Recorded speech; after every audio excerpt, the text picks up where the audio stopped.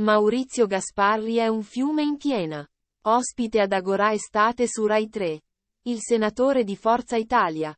Parlando della riforma della giustizia e soprattutto delle polemiche scaturite dal colpo basso della Procura di Firenze che ha messo nel mirino Silvio Berlusconi per le stragi del 1993, ha tuonato contro Nino Di Matteo.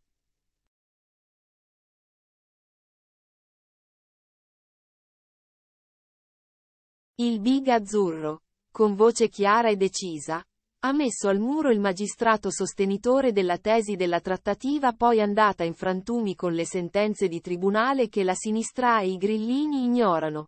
Di Matteo è stato sconfitto clamorosamente nell'accusa persecutoria al generale Mori e ad altri eroi della lotta alla mafia che hanno arrestato Riina e gli altri e che per questo, invece di avere una medaglia, hanno subito 20 anni di processi ingiustificati conclusi con una soluzione.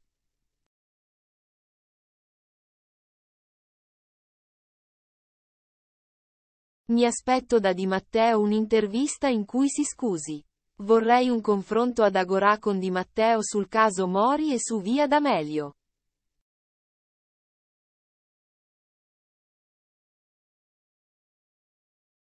Insomma Gasparri ha smontato una per una le tesi di Di Matteo, e ora invita il magistrato a scusarsi con chi è finito all'agonia in questi anni per colpa di inchieste che si sono rivelate un flop senza precedenti.